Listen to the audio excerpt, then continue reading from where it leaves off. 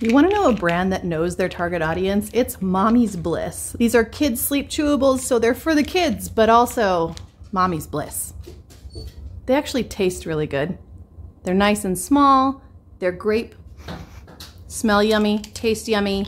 One milligram of melatonin mixed with magnesium for a night of kids sleep and mommy's bliss. Hope that was helpful.